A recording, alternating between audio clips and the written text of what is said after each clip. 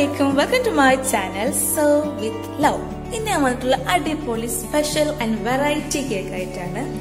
എനിക്ക് തോന്നുന്നു യൂട്യൂബിൽ ആദ്യമായിട്ടാണ് ഇങ്ങനെ ഒരു കേക്ക് മനസ്സിൽ ഇങ്ങനൊരു കൺസെപ്റ്റ് വന്നപ്പോൾ ഉണ്ടാക്കിയതാണ് സംഭവം അടിപൊളിയായിട്ടുണ്ട്. വീട്ടിൽ എല്ലാവർക്കും ഇഷ്ടമായി സ്പെഷ്യലായിട്ട് കേക്ക് ഇഷ്ടമായത് എന്റെ ഉമ്മാക്കാണ്. ഉമ്മ ഒരു ഷുഗർ പേഷ്യന്റ് ആണ്. അതുകൊണ്ട് തന്നെ ഉമ്മാക്ക് കേക്ക് വളരെയധികം ഇഷ്ടമായി മാത്രമല്ല എല്ലാവർക്കും ഇഷ്ടപ്പെടുന്ന ഒരു അടിപൊളി കേക്കാണിത് അപ്പൊ നമുക്ക് കേക്കിന്റെ റെസിപ്പിയിലേക്ക് കടക്കാം. ഇതിലേക്ക് ഞാൻ നൂറ്റി അമ്പത് ഗ്രാം ചിക്കനാണ് എടുത്തിട്ടുള്ളത്. അതിലേക്ക് ഒരു ഹാഫ് ടേബിൾ സ്പൂൺ കുരുമുളക് പൊടിയും ഒരു ഹാഫ് ടേബിൾ സ്പൂൺ ഉപ്പ് കൂടി ചേർത്ത് നന്നായിട്ടൊന്ന് മിക്സ് ചെയ്യാം.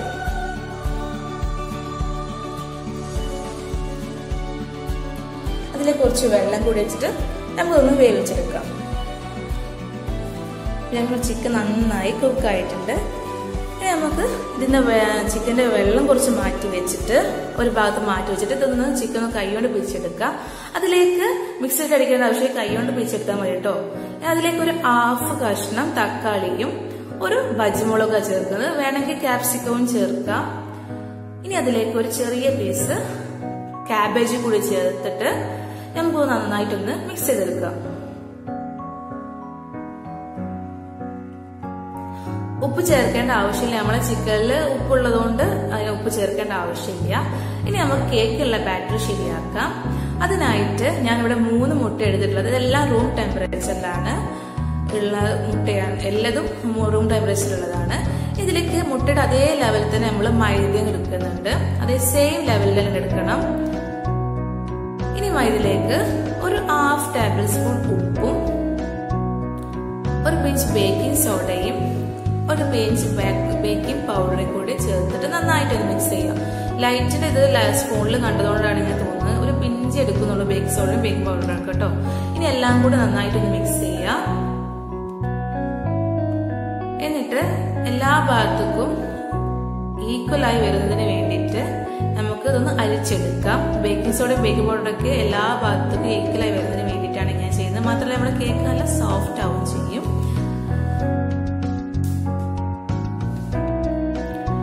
നമുക്ക് മുട്ട അടിച്ചു തുടങ്ങാം. ആദ്യം നമ്മൾ മുട്ടടിക്കുമ്പോൾ ചെറിയ ലോ സ്പീഡിൽ വെച്ചാൽ മതി. എന്നിട്ടൊന്ന് പതിഞ്ഞതിന് ശേഷം മാത്രം ഒന്ന് സ്പീഡ് കൂട്ടി കൊടുത്താൽ മതി. നമുക്കൊന്ന് സ്പീഡ് കൂട്ടി കൊടുക്കാം.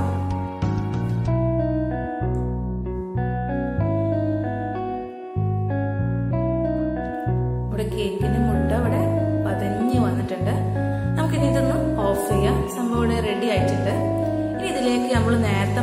വെച്ച മൈദ ചേർത്തി കൊടുക്കാം. കണ്ടോ നല്ല പതിഞ്ഞു വന്നിട്ടുണ്ട്.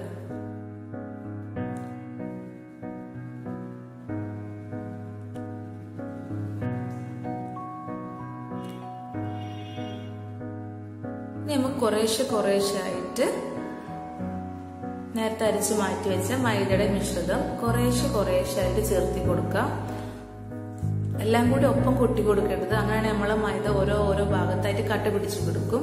അങ്ങനെ പിടിക്കാതിരിക്കാൻ വേണ്ടിയിട്ടാണ് ഇങ്ങനെ കുറേശ്ശെ കുറേശ്ശായിട്ട് നമ്മൾ ഇതിലേക്ക് കേക്കിലേക്ക് ചേർത്തി കൊടുക്കുന്നത്.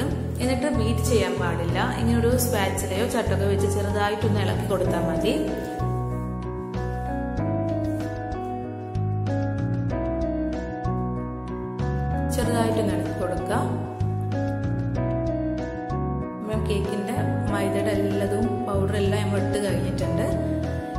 ഇതിലേക്ക് രണ്ട് ചേരുകൂടി ചേർക്കാനുള്ളൂ.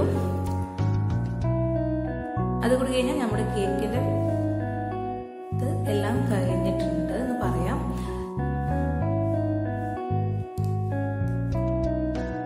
ഇനി ഇതിലേക്ക് ഞാൻ പറഞ്ഞ ചേരുവയിൽ ഒന്ന് ഒരു ടേബിൾ സ്പൂണ് വിനാഗറാണ്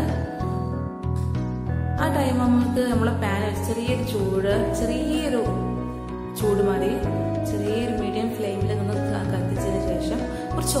ഒഴിച്ചിട്ട് ഓയിൽ എല്ലാ ഭാഗത്തേക്കും ഒന്ന് സ്പ്രെഡ് ചെയ്ത് കൊടുക്കുക.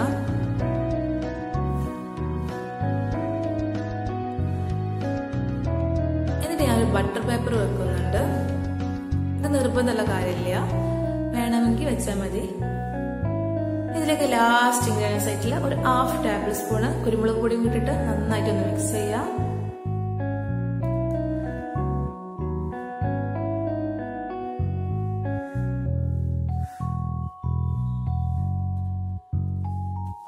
ഇനി നമുക്കൊന്ന് ഹൈറ്റിൽ ഒഴിക്കുക. ഹൈറ്റിൽ ഒഴിക്കുകയാണെങ്കിൽ ബബിൾസ് ഒക്കെ പൊട്ടും. അത് അതിനൊക്കെ കൊണ്ടാണ് ഹൈറ്റിൽ ഒഴിക്കുന്നത് ആ കേക്കിന്റെ നല്ലത്. ഇനി നമുക്ക് ടാപ്പ് ചെയ്തിട്ട് ഒന്ന് ഒരു അഞ്ച് മിനിറ്റ് കുക്ക് ചെയ്തെടുക്കാം. അപ്പൊ ഇതാ നമ്മുടെ കേക്ക് റെഡി ആയിട്ടുണ്ട്. നമുക്കൊന്ന് കുക്കായിക്കൊന്ന് നോക്കാം. കണ്ട് ഒട്ടി പിടിക്കുന്നൊന്നുമില്ല നമ്മുടെ കേക്ക് നല്ല അടിപൊളിയായി കുക്കായി വന്നിട്ടുണ്ട്. ഇനി നമുക്ക് ബട്ടർ പേപ്പർ ഒന്ന് മാറ്റിയിട്ട്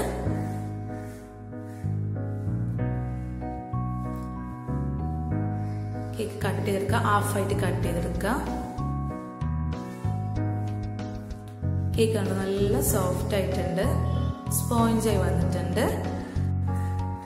ഇനി നമുക്ക് കേക്ക് ഒന്നും കൂടി സോഫ്റ്റും അതുപോലെ ടേസ്റ്റ് ആക്കാൻ വേണ്ടി ഞാൻ നേരത്തെ മാറ്റി വെച്ച ചിക്കൻ സ്റ്റോക്ക് വാട്ടർ ഒന്ന് ഇതിലേക്ക് ചേർത്ത് കൊടുക്കാം. ഇത് നമ്മൾ നേരത്തെ കോഴി വേവിച്ചില്ല? അപ്പൊ ഉണ്ടായിരുന്ന വെള്ളമാണ്. അത് മാറ്റി വെച്ചതാണ്. അതാണ് ഇപ്പോൾ ഇതിലേക്ക് ചേർത്ത് കൊടുക്കുന്നത്.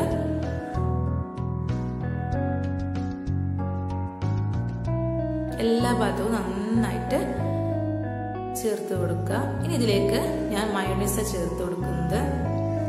മയോണൈസിനെ നല്ല കട്ടിയിലടിക്കണം. അപ്പോഴാണ് കേക്ക് നല്ല ഇങ്ങനെ നമുക്ക് കേക്ക് ഇങ്ങനെ ഷേപ്പ് വൃത്തിയിൽ ചെയ്യാൻ പറ്റില്ല. മയോണൈസ് നല്ല തിക്കായി നിൽക്കുമ്പോഴാണ്.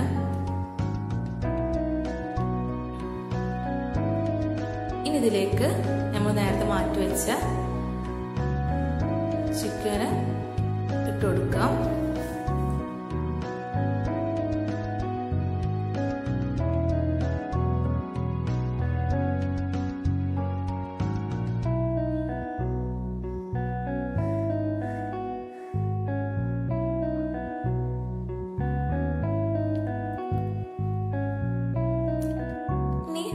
നേരത്തെ മറ്റേ സ്പീസ് കൂടി ഇതിന്റെ മുകളിൽ വെച്ചിട്ട് ഞാൻ ചെയ്ത പോലെ തന്നെ അതേപോലെ തന്നെ റിപ്പീറ്റ് ചെയ്യാണ്.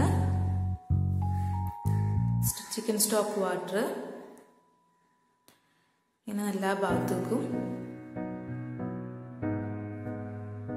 അപ്ലൈ ചെയ്ത്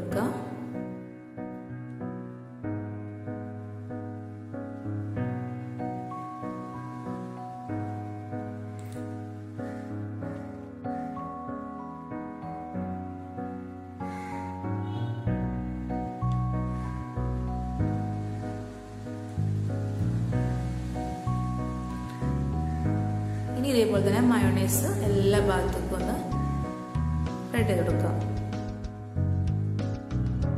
മയോണൈസിന് തിക്കായി കിട്ടൽ നമ്മൾ മയോണൈസ് മിക്സിയിൽ അടിക്കുമ്പോൾ നല്ല ഒന്ന് എല്ലാ ഇൻഗ്രീഡിയൻസും കൂടി ഒന്ന് ജസ്റ്റ് ഒരു അഞ്ച് മിനിറ്റ് ഒന്ന് ഫ്രിഡ്ജിലോ ഫ്രീസറിലോ വെച്ചാൽ മതി. അതിനുശേഷം അടിച്ചാൽ നമുക്ക് നല്ല തിക്കിൽ മയോണൈസ് കിട്ടും.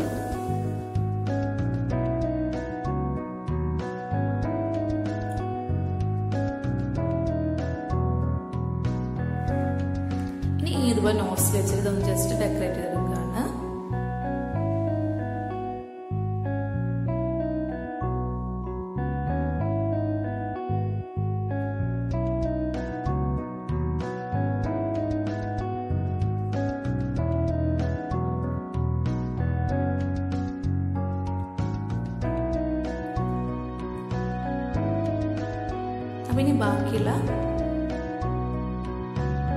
ചിക്കൻ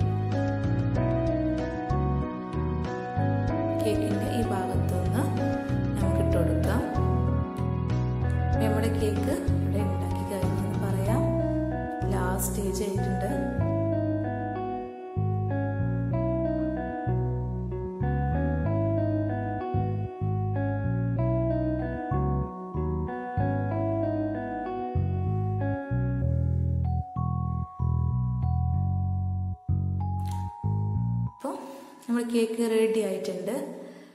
നിങ്ങൾ എന്തായാലും ഇത് ട്രൈ ചെയ്യണം. ട്രൈ ചെയ്തിട്ട് നിങ്ങൾ കമന്റ് കമന്റ് ബോക്സിൽ എന്തായാലും നിങ്ങൾ ഇടണം. അതുപോലെ തന്നെ നിങ്ങൾക്ക് ഈ വീഡിയോ ഇഷ്ടപ്പെട്ടെങ്കിൽ നിങ്ങൾ ലൈക്ക് ചെയ്യണം.